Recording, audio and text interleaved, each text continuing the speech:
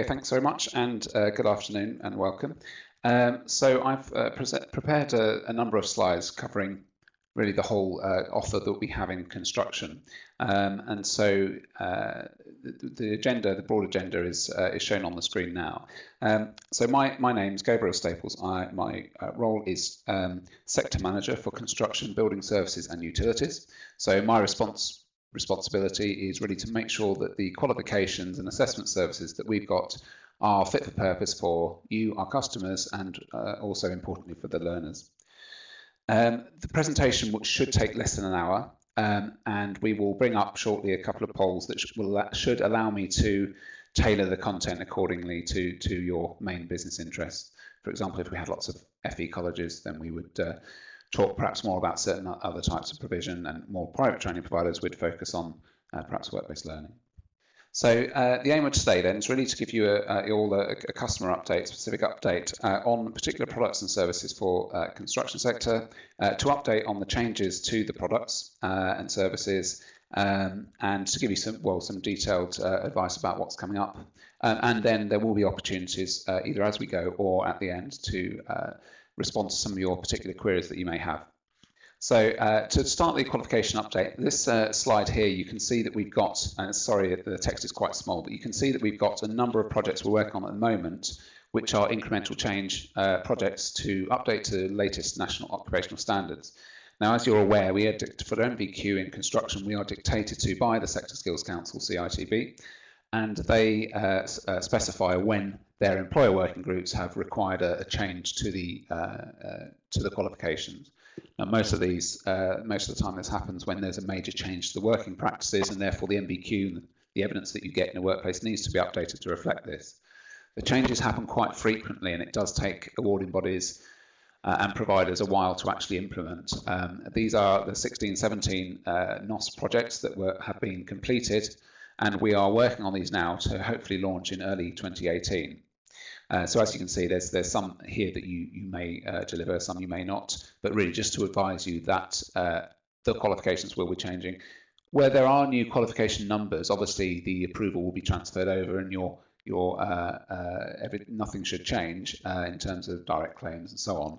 Um, but some of these changes may just result in a change to the existing qualification number, just albeit with a new specification issued. Uh, one particular change to highlight is uh, for the uh, BTEC Level 1 Award in Health and Safety in Construction Environment. Uh, this qualification, it's a popular qualification. It's, when it was launched, it was launched to improve the health and safety uh, knowledge uh, specifically for labourers, um, uh, because prior to that there were no formal qualifications for labourers. So this qualification is one of uh, several, but it's uh, it's approved by the CITB as a qualification that can lead to the green card for labourers. So it's very important qualification uh, I know many of you uh, deliver uh, both in college and as private training providers, and quite often it's it's lumped in with the um, uh, the initial induction process to a larger qualification or program that you may have, whether learners are full time or or wanting to progress to an NVQ. Um, so the two uh, changes to highlight that we're implementing as soon as we can are these new two additional assessment criteria, and obviously the specification has to be updated to reflect that.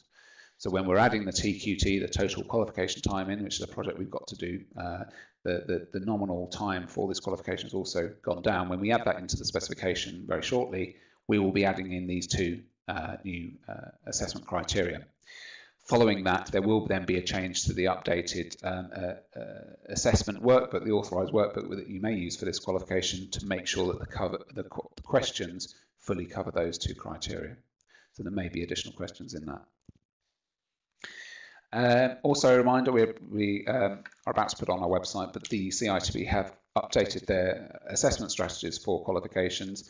Very, very minor change, sort of tweaks from August this year. Um, and it specifically is a, a, statement about thermal insulation. You may or may not do that qualification regarding the occupational competence of assessors. But more significant changes are coming from, uh, they introduced this a while ago, but it's only going to be implemented from January 18. There will be a separate um, assessment strategy for plant operations and controlling lifting operations. And it's really the changes are around um, addressing the, the, problems that uh, the industry has had with uh, centres doing the uh, experience worker route, UPAR route, it's, it's sometimes known as. It's not something that we particularly supported or offered, but it was uh, it's really being, being very specific about the requirements for workplace observation and the testing for these experienced workers. Um, essentially, it's clamping down on any sort of uh, perceived poor poor uh, behaviour for for the industry for plant operations and lifting operations, which are all about using uh, very complex uh, machinery, obviously, so health and safety critical. Uh, the assessment strategies are on on, uh, on the website. Um, anyone doing plant and lifting ops at the moment should still refer to the current one. Um, the new August 17 doesn't have those annexes for plant and and uh, control and lifting, so you have to refer to those. Uh, remainder of the work for, for 2018, just in summary really, um, there's a load of qualifications that you may be aware that are approaching their review date, either in December or April. I'm going through an internal process at the moment to ensure these are extended. Uh, there are one or two where the take up is, is very low and we may have to withdraw. In any case of withdrawal, we would obviously always give um, uh, decent notice. And, and, and obviously, if you've got any feedback on any of those, then you can, can get in touch with me. As soon as a qualification is extended, we will send a separate uh, email to the quality nominee contact uh, uh, in your centres. Um, so qualification, our strategy really is to, to keep offering any qualifications that underpin SASE apprenticeships. Um, as we know, apprenticeships are changing, and there's another section on that later that I'll talk in depth about. Um, but really, it's just a contingency to make sure we, we, whether they're in the new apprenticeships or not when they finally reform, to make sure we, you've still got an offer uh, to an interim offer. Because as you'll see, the pace of change with the uh, uh, reform with the apprenticeships in construction is not as fast as the, I think the government had expected. Uh, TQT, total qualification time, I mentioned that's going to be assigned to all qualifications. That's an Ofqual mandatory requirement.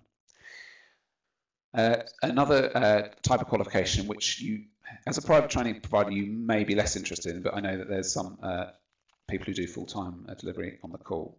Um, we have new uh, technical qualifications that, from 2018 that are intended for post-16 learners. I don't think it's very clear from that slide, actually, sorry. So essentially these are uh, covering some fundamental subjects that for learners who are after 16 who still need a level two qualification, they're likely still in full-time education or employment uh, or before employment, so educational training. Uh, so a likely uh, market for this would be colleges. They're designed to not just cover the technical skill, to introduce them to those uh, uh, craft trades in a uh, an off-site environment, but actually to to also cover work skills, attitudes, and behaviours that employers have given feedback that are, are so lacking in some of the people that come out from school uh, and, and indeed college at the moment, even if they have done a construction qualification. So it's really to address skill shortages, to uh, make sure there's a pipeline of willing and capable learners at 16 to 18 who can then go on to apprenticeships or directly into employment. Uh, they, they map to um, uh, any standards out there that are approved by professional bodies uh, for this curriculum for the for the 14 to 19 year olds, and they also map to uh, the NOS where possible um, uh, particularly the underpinning knowledge of the NOS or those trades. So they should be relevant. Uh, in terms of the qualifications, they're all mandatory units. Uh, there's three of them, carpentry, brickwork, painting and decorating. So learners at 16 will really know what trade they want to go into. They just need the training first. Um, so uh, the structure of the qualifications are up on the screen now. Um, essentially, there's a bit of theory. Uh, there's a, a, sort of heavy uh, uh, emphasis on uh, skills, so whether it's brickwork and blockwork, for example, those are the two units covered. Um, or it could be uh, carpentry, um, all sorts from uh, you know the, the pre and post uh, design phase. It could be um, there's also a, smaller unit on experience in the industry where they get to to look at um, what career options are available to them, what's expected of them in terms of behaviours, and there's opportunity for work placements in that if you're partnering with an employer who, who covers that. Uh, the one change that, uh, or the one uh, thing to note here is, is that there is external assessment. That's a DFE requirement. Uh, there's a, it's a practical assessment, however, it's, it's very limited in terms of the amount of writing it requires, which is hopefully a, um, uh, attractive to, to learners who may have had enough of exams. Um, and it's so it's a, a practical task where they have to do it in a supervised period, so it's not perhaps as quite as high stakes as going down and sitting in, a, in an exam, in a big exam hall, um, as learners may have experienced before at school, and they may not have got on very well with. Uh, the next uh, qualification I want to introduce has actually been live for a few months now, but it's the, um, that I won't spend too much time on it, but it's the new level one introductory qualifications, which are designed uh, not exclusively for post 16. These are actually in a range of sizes. They are graded um, and they are uh, designed to cover really for learners who don't yet know at that, at that stage what they want to do and to give them an introduction to the construction sector. Um, they are uh, they've got sort of personal skills, developing skills, and, uh, as well as um, uh, sector units, which are specific uh, units regarding uh, relating to construction. So I'll bring the list of, of, units up. Apologies for the resolution of the screen, but it's a choice that obviously they can make um, at school or at college or with a private training provider. They can make a choice uh, in terms of what skills they want to to cover. Um, these we see that there's a, a, fair bit of interest already, and there's a, it's an ideal introduction before um, they get on to focus on a particular trade at level two. And it may well be this comes before the technicals, which I've discussed, or that comes before an, um, uh, an apprenticeship, or it may well be that the um, uh, the, the, qualification can form part of a wider study program with, for example, the BTEC Level 1 Health and Safety in a Construction Environment, which is a qualification itself, which I've discussed, that gets you onto um, uh, uh, to be a labourer on construction sites.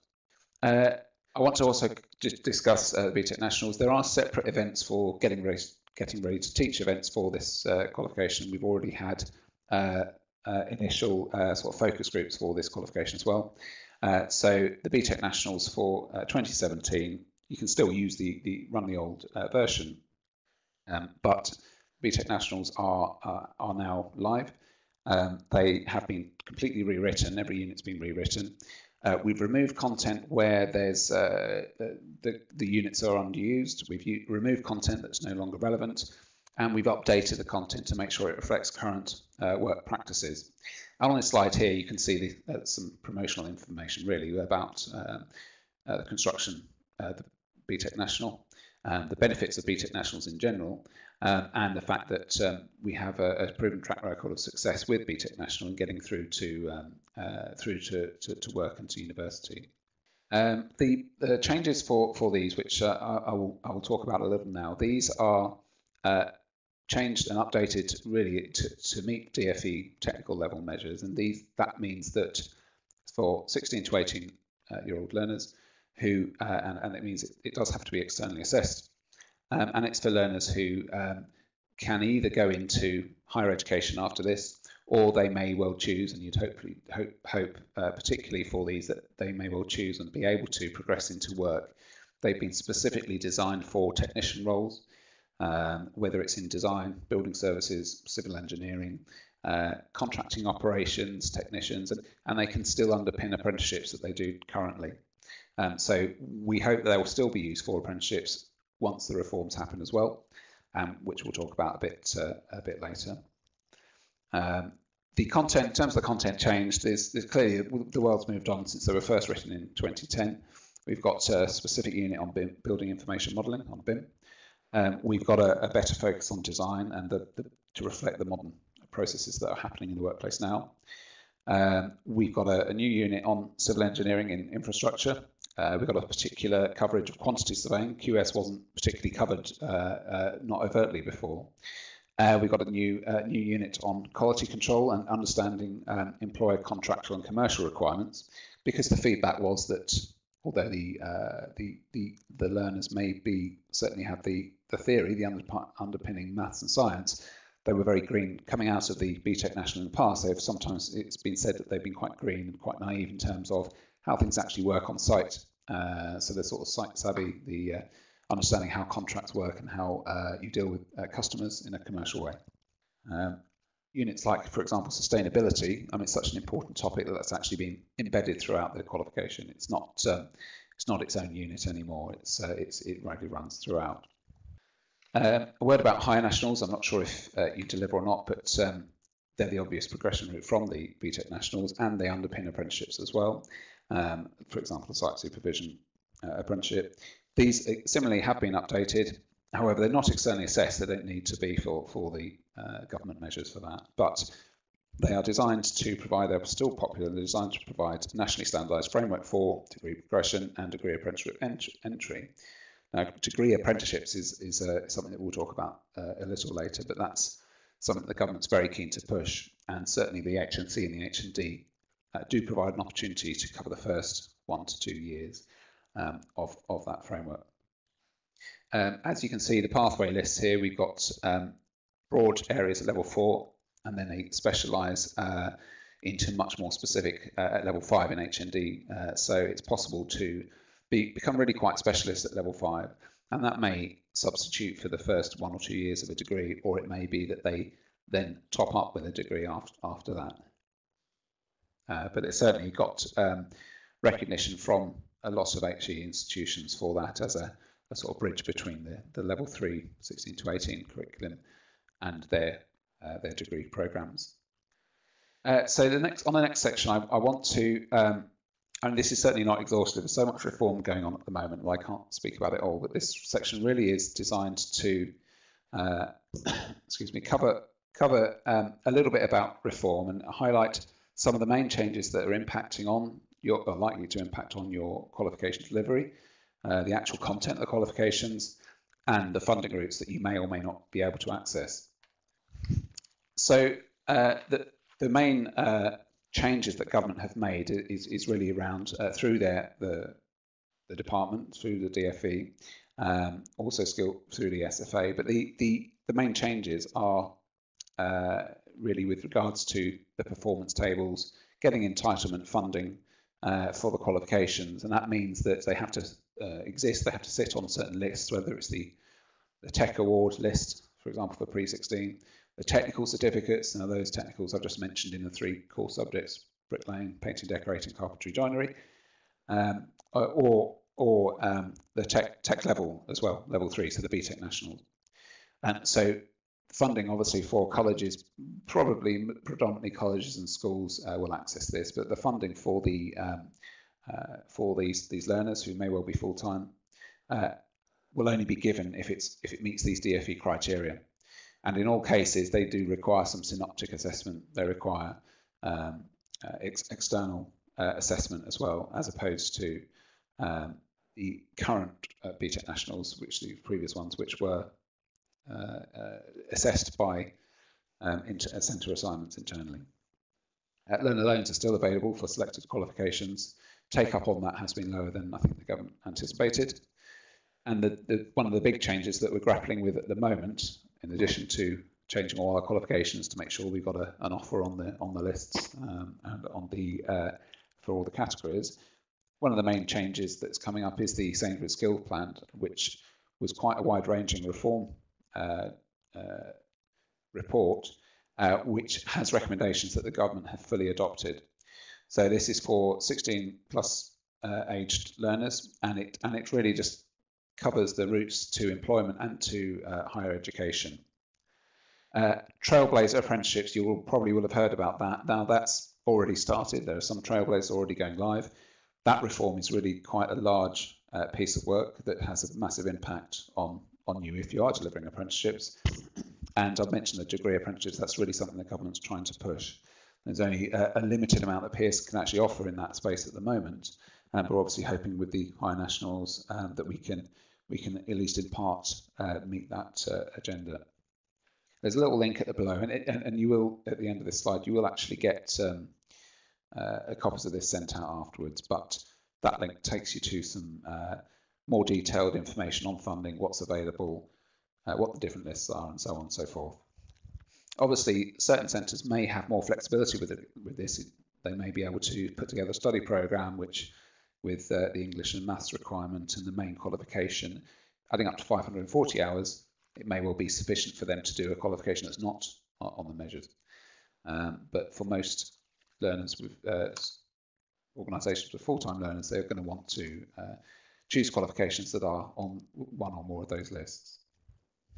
So to talk about the post-16 uh, technical education reform, the skills plan, Sainsbury skills plan and, and how it impacted, effectively, there's uh, some information on the slide here.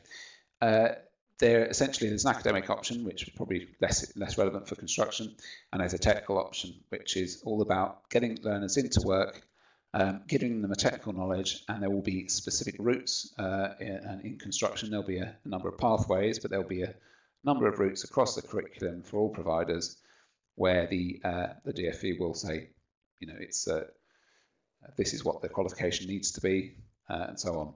Obviously, we are hopeful that certainly for level three, that uh, our, our own technical level, our own BTEC National will be sufficient to meet this uh, requirement.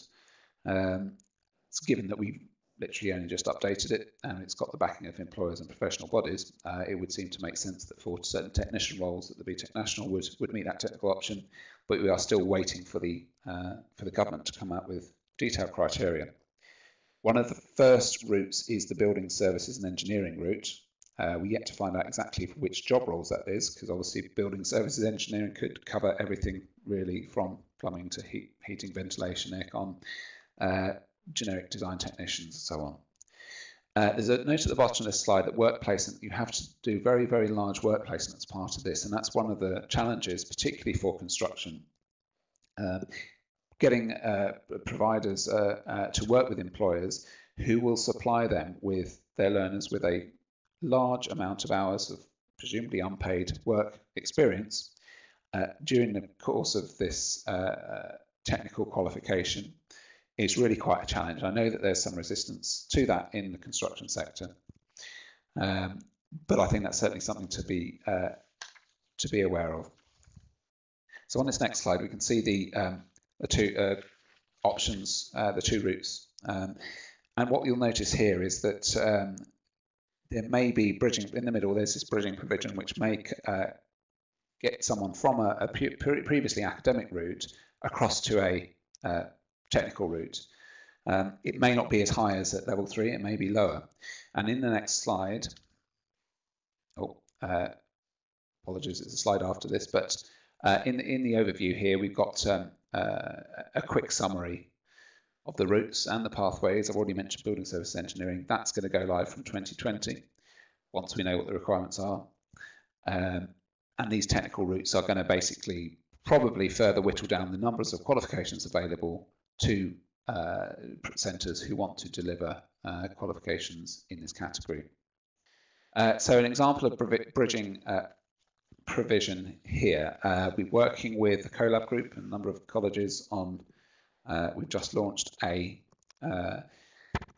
qualification, well, a, a, program that's designed, it's actually at level one really, and it's designed to get people up to their first technical qualification.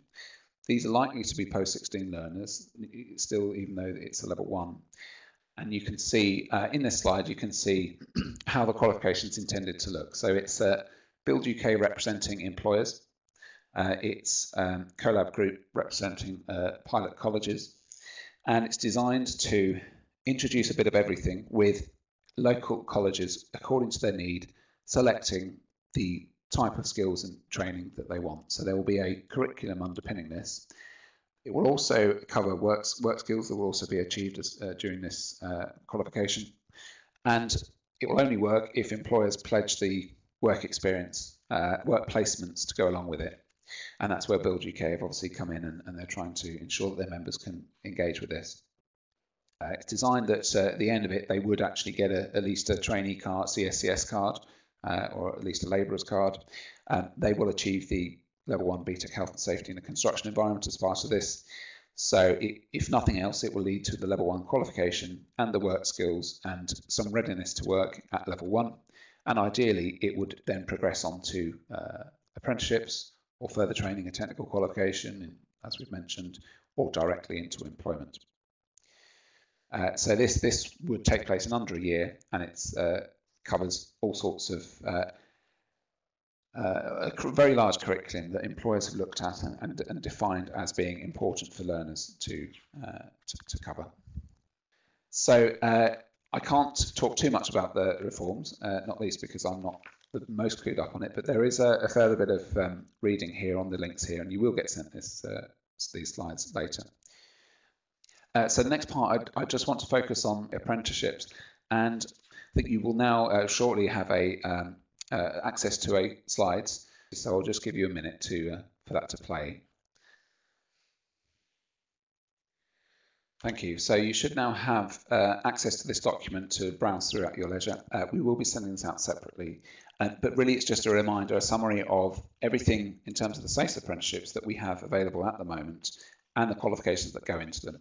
As you can see, there's still a very large number of pathways covered, um, and as we'll explain uh, later, um, uh, it will, um, as will, it will become evident that that actually the Trailblazer reform agenda has not yet uh, sort of cracked this particular nut in terms of getting these changed over. There's still a long way to go to to reform them. Um, so I'll give you another minute to to have a look through this uh, this document uh, before we return to the slides.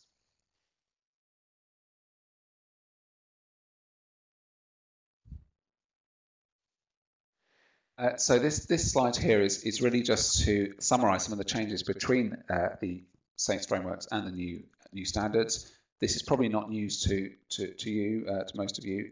Um, really, the key things to, to highlight, to pick out, are the fact that there is um, a, a recognised point of the gateway point once you've done your training, where the employer and the provider uh, confirm to the whoever the awarding body is uh, that they are ready for endpoint assessment. Whether you're involved in endpoint assessment or not, you may well be involved in the uh, initial uh, training and even the qualification if there is uh, one covered. to get learners, your aim as a provider is likely to be to get learners to that point of endpoint assessment. there are specific requirements around, um, well, uh, there are no specific requirements about qualification, but there are specific requirements still around maths and English and assessment of behaviours. Uh, but that's something that we've uh, providers and even awarding bodies have particularly struggled with the notion that um, uh, there are no qualifications as mandatory uh, necessarily. Some of them do mandate qualifications, but the, the government have been very um, keen to uh, make sure that uh, it's the, if employers do not need or recognise a qualification, then it will not be included in the standard, which can make it quite tricky uh, for for learners to to be assured that a learner has got to the same consistent standard, and that itself is, is posing some problems. Uh, in terms of uh, construction apprenticeships, uh, in summary, as I've I've mentioned, um, well, the, the government is is is phasing out some some very niche and specialist uh, qualification frameworks have disappeared. However, really in construction, most of them are still are still live. There is a link there where you can look at the, the latest list of uh, SASE frameworks that have disappeared. Um, there are, in, conjunction with that, there are new frameworks, uh, some that weren't previously covered, uh, which um, are very specialist and they have launched in construction. I say very specialist, property maintenance, perhaps less, less so. Uh, there are several in utilities. Uh, there are uh, the technician frameworks that Pearson offers in, in the civil and building services technicians. They have now gone gone live, uh, though I don't think they're being delivered yet. And there's some new specialist ones such as rail design and transport planning, which are live. so in terms of Pearson's offer, we have a limited offer for the new standards across uh, where they are available. Um, one of the examples where we are offering is in the utility sector for smart meter installer, and we work with uh, a large employer on that. But as I said, development progress is really been has really been quite slow, and there's real concern in CITB and in the employers and in providers and awarding bodies indeed that the development has been so slow uh, that obviously we're getting to a critical point where you know uh, the, government says we have to switch over to the new standards and yet the trailblazer frameworks are not yet signed off. The difficulty seems to be between certain trailblazer employer groups and meeting the government requirements and the back and forth that goes on with the review and approval of the standard. The standard itself can get through, but the assessment plan quite often uh, there's a snagging point at the end there. So uh, many standards that are in draft form, uh, they can be available. Uh, they are listed on the government's uh, the BIS website for apprenticeships. If you type in BIS apprenticeships in Google, you will find the the, uh, the, the new frameworks all listed there and their status. many of these standards helpfully are still specifying NVQ because the the employers still uh, still recognise and value the NVQ in, in providing a consistent way to to uh, confirm competence. So we anticipate that there should still be a a role for the training provider, for the FE College, in, in providing uh, qualifications that you have been used to delivering in the past. Uh, in terms of the uh, mapping, of course, we've uh, for construction apprenticeships, um, what's important once they are live is that you as a provider have an opportunity to uh, tender uh, or pitch your, your offer to employers because employers now are in the driving seat. They are the ones that own the, uh, the purse strings, they are paying a levy for this, uh, and they can specify, they can source providers according to what they want. That may well be a tender process. In your pitch to the employers, if you're approved to offer a qualification that maps the standard, then you can legitimately say, even if it's not specified, you can legitimately say, we would offer this qualification, it's high quality, the learners will achieve a, a certificate at the end at the end of it before they do endpoint assessment. Even if you don't have an interest or or uh, not engaged in the endpoint assessment part, you can still pitch for for on-program business using qualifications if they map. And we expect there's a large number of our qualifications which will map to the new standards once they're signed off. We've not completed this work, but we uh, I've given certainly got um, a good summary of uh, where we are at with this this mapping work and how our qualifications can actually meet the new apprenticeship standards. And I'd like now if Inset Online could bring up the second of today's documents for you to look through. Um, I'll give you a, a, couple of minutes to look through, as you did before, uh, this whole uh, uh, document. And it's probably worth, as you look through, uh, I can probably highlight a few bits. Um, and obviously, we can cover questions at the end if, if necessary, if uh, you need to a uh, sort of deeper look at any particular standard. This document's in two parts. There are um, so the first section is really where there's a like-for-like -like replacement, um, or it's going to be going to be uh, available soon. Um, and that's where there are, so I've started with the qualification on the left-hand side. You can see which framework it's currently in, what the new standard is called, um, and what the new qualifications are specified in, in that. Um, you'll see some, for example, if you look down to um, the second page, there's a controlling lifting operations NVQ and plant operations NVQ. They are currently two separate frameworks within the new, uh, there's a new uh, uh, uh Trailblazer apprenticeship, which is um, in development that actually requires the achievement of both the NVQ in plant ops and the NVQ in uh, controlling lifting operations. This is for a, um, a, lifting technician. There will separately be a plant ops, but obviously that shows you how you know the, sc the scope and the potential of offering qualifications. If you are approved to offer NVQs, that is two NVQ qualifications that the apprentices will need to achieve before they can get to endpoint assessment. That's as they're proposing it now. So as you can see, there are clearly still there is clearly still scope for providers to uh, to offer uh, apprenticeships in the, when they're reformed. Uh, if you uh, look through for the um, in terms of the second one, so page one, two, three, page four, uh, you can see that there are a selection of new occupations, new frameworks where they weren't previously covered. Um, I don't think there's any. Error. I have gone through this just to double check, and this is where uh, the standard really is new. Nevertheless, there are still uh, existing uh, qualifications, or in some cases, we developed new qualifications, for the example, for the transport planning technician.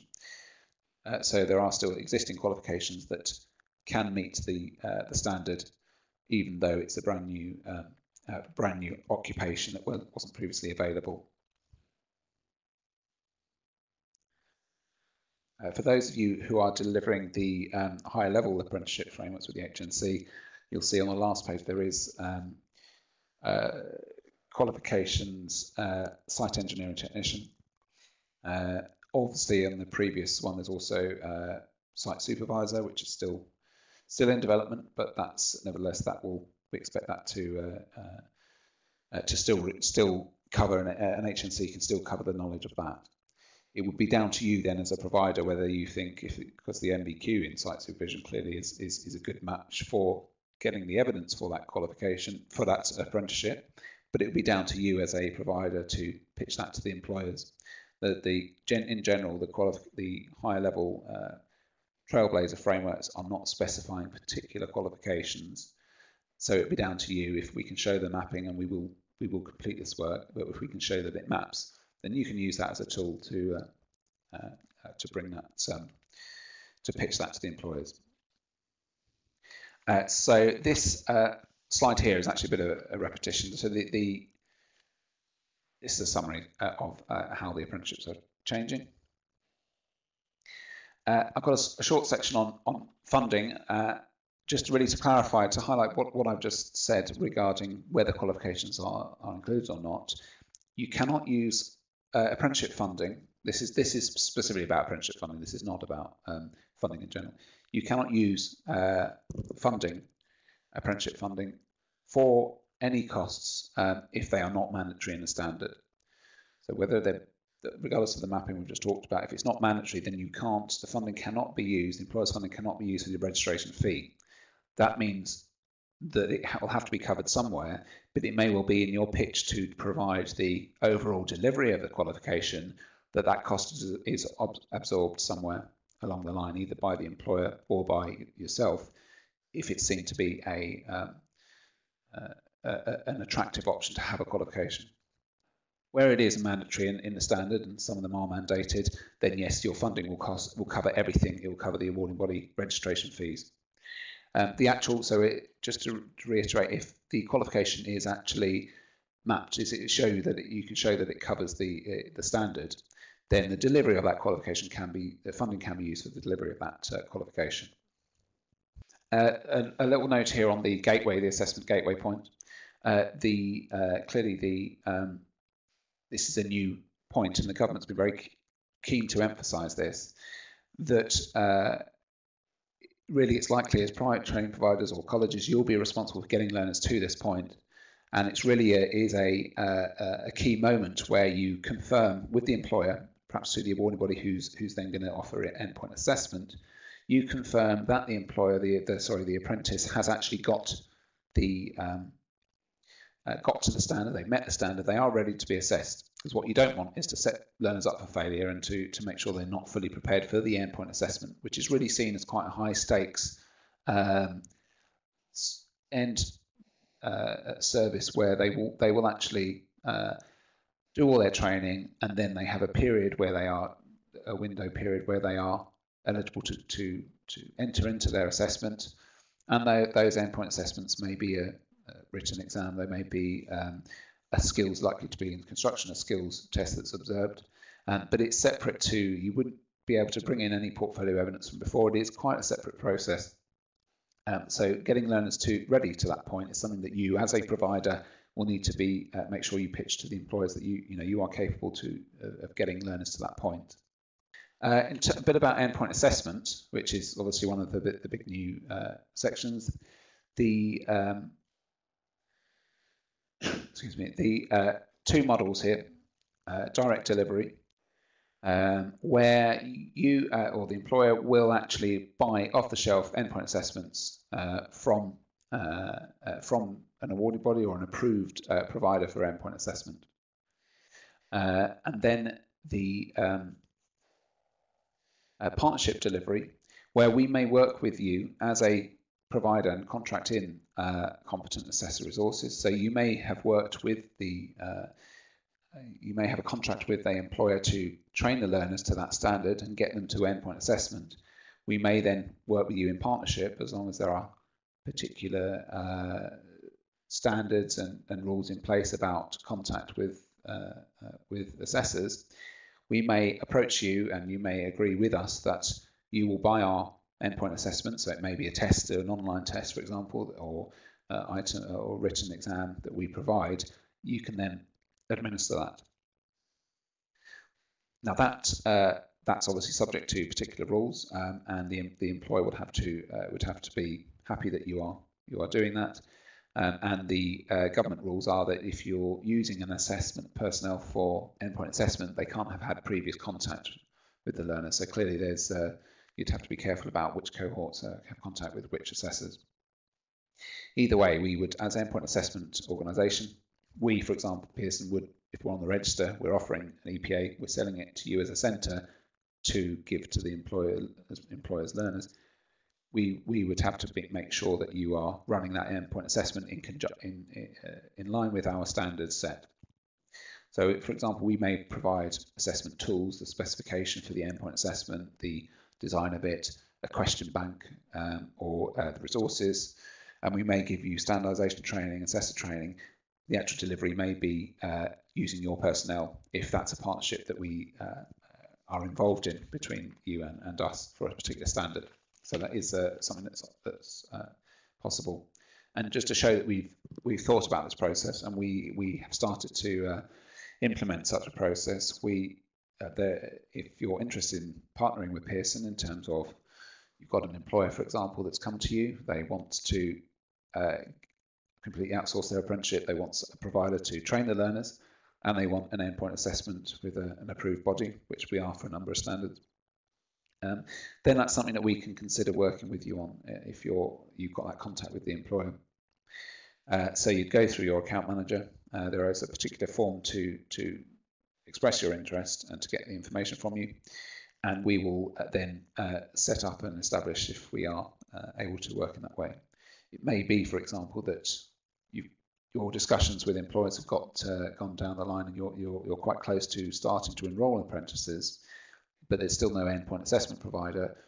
If we've got a firm statement of intent from you and we know when these schedules, uh, in terms of scheduling, we can cope with it and we know when the learners are likely to be ready for endpoint assessment, then we can develop endpoint assessment uh, subject to you know, in the internal business case going through. So this does allow us to um, develop our EPA offer and to schedule this in because it's very resource intensive. Um, and it would obviously need all the necessary signed contracts and so on.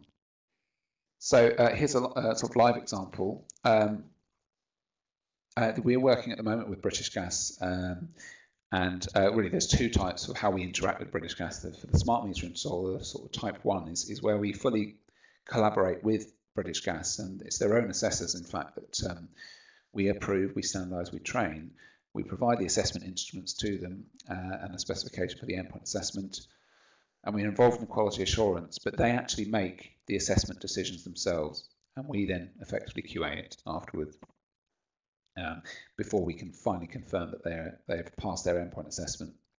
So that's uh, that's a process that um, really does uh, involve full cooperation and collaboration between us. In the second example for customer service, which is not construction related, but we work with them for a couple of standards, um, customer service being the other one. Uh, this is where that we they fully buy a endpoint assessment service from us. Um, we recruit our assessors. We're responsible for sending out that assessor. Uh, we don't use any of the internal staff at all. They book them in. We've got the registration system set up for that. They book them in for their assessment. We then send it out. And in that second, well, in, in both of these examples, in fact, there's not really a role for a private training provider here. Uh, it's because British Gas are big enough. They're wanting to cut that out and actually go straight to the endpoint uh, assessment provider. But however, you can see at the bottom of the potential partnership delivery model here, uh, you can see here that we've got um, an example of, of, for example, property maintenance operative. Uh, we haven't got a live offer for this, but we are on the register of endpoint assessment organisations. Now, this is an example where there could be partnership between, the, as I've described, between you and, and us the assessment plan, it specifies very clearly the role of the training provider in getting that learner to the uh, endpoint assessment, to the gateway, and how the uh, awarding body interacts for this property maintenance operative standard, how the awarding body interacts with um, uh, with the provider and the endpoint assessment uh, organisation, which would be us, um, to actually uh, uh, provide the employer the service.